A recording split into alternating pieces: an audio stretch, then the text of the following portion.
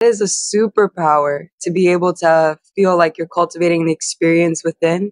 I think there's something about tapping into that inner wisdom, inner sense of, of, of who you are that allows you to relax even more. And then you refract it as a rainbow of colors which by the way you're having a rainbow of colors that keep appearing behind you which really is inspiring and beautiful to see defensive. To be able to start to move away not to become defenseless but to become non-defensive to be able to really show up as our true self that when we can start to have that sense of really being who we are we go into what i call the joy slump. That's like reminds me of like a laughing buddha.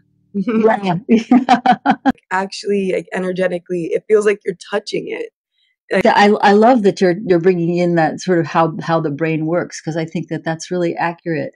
I make mistakes and mess up, but that there's still ways in which and to really trust that inner core and then uh, and then speak from that or tune into that